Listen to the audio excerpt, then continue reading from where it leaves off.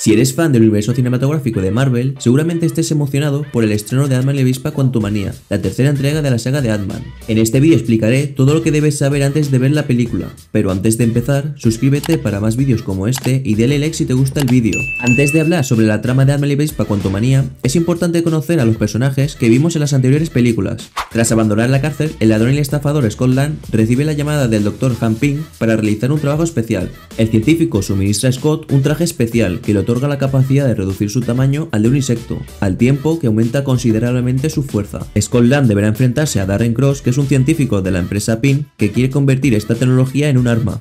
La secuela de Ant-Man, Scott deberá ponerse otra vez el traje junto a Hope, la hija de Pin, como la nueva avispa. Juntos deberán intentar rescatar a Janet, la madre de Hope, que quedó atrapada en el reino cuántico décadas atrás. Y en esta nueva entrega, Scott, famoso por ser uno de los Vengadores, se encuentran atrapados junto a Hope, Casey, hija de Scott, Hank y Janet, en el reino cuántico debido a un invento de Casey que salió mal.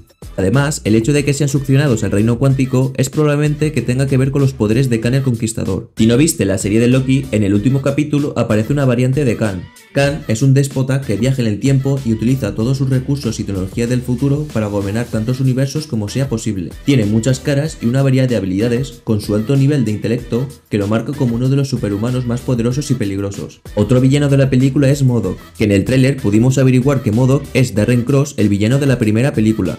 Y parece ser que Khan está atrapado en el mundo cuántico y necesita algo de Ant-Man para salir de ahí. Ant-Man y la Ispa Quantumania es una de las últimas películas de la fase 4 del universo de Marvel y empieza la fase 5 con uno de los grandes villanos. Khan el Conquistador es el personaje que tendrá una importancia significativa en el futuro del universo de Marvel. Y esto es todo por hoy, espero que hayas disfrutado de este vídeo y que te haya servido para conocer más sobre Ant-Man y la avispa Quantumania. No olvides dejar tu comentario si te ha servido el vídeo y si te ha gustado, no dudes darle like y suscribirte al canal para estar al tanto de las últimas novedades del universo cinematográfico de Marvel.